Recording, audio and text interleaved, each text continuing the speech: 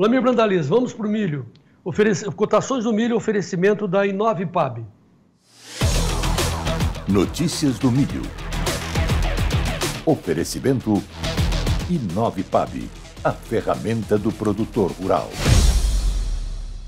Muito bem, vamos aos preços do milho em Chicago subindo bem, 8 centes de alta, mas o setembro continua abaixo de 4 dólares, 3,86. O dezembro 4,09, o março 4,26,75, maio 4,36 dólares por bushel do milho em Chicago. Aqui no Brasil, saca de 60 quilos, na B3 Base Campinas também em alta, setembro 61,89, novembro 64,68, janeiro 68,09 Milho em alta na B13, Vlamir.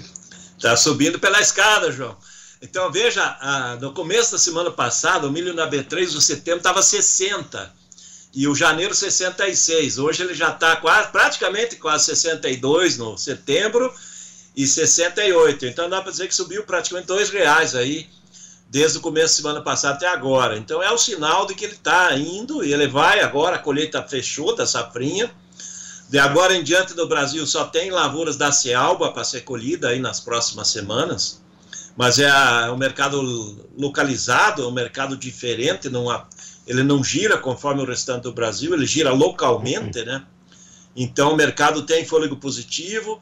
Lá em Chicago, ao mesmo tempo que o mercado vê a safra indo bem, mas ele também vê que a produção mundial ela está ajustada e o mercado está muito barato a gente não pode mais considerar o setembro aí, que está abaixo de 4 dólares, lá de Chicago, porque o setembro vai encerrar semana que vem, então ele já não tem mais importância, mas o que nós vemos aí que o mercado agora vai tentar se consolidar acima de 4 dólares aí do dezembro em diante, e as posições nossas aí para o milho da safrinha do ano que vem já está na borda lá dos 4 dólares e meio, que é, que é o milho lá de julho a, a, em setembro de 2025.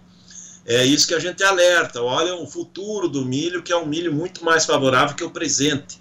É por isso que tem que se planejar para já nova safrinha, né? Mas claro, impossível. É, o preço do milho hoje no, no mercado? Ah, o mercado de milho hoje nos portos é 64 Paranaguá, 64 é São Francisco, Santa Catarina, 65 Santos. E é possível que agora à tarde uns 50 centavos melhor ainda pague essas são as posições aí até as 11h30. Eu acho que agora à tarde paga um pouquinho mais, porque nesse momento o mercado estava com 4, 5 de alta, agora está com 8, 9, até 10 de alta, então o mercado está pagando mais. E é aquela, aquela questão, né? Temos disputa de mercado. Hoje nós temos comprador do setor de ração, tem comprador do setor de etanol, tem comprador da exportação, tem comprador da indústria de alimentos, aquele que faz a farinha, o biju, essas derivados do milho para consumo humano, né, os cornflakes. Todo mundo querendo milho de agora em diante, porque setembro é um mês que a indústria tem que vir para o mercado para se abastecer para esse restante de ano.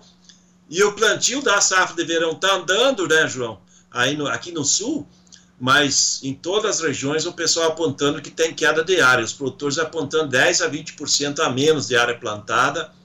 Isso vai refletir numa produção limitada dessa primeira safra e pouco milho até o meio do ano que vem. Por isso as cotações vão subir, óbvio, né?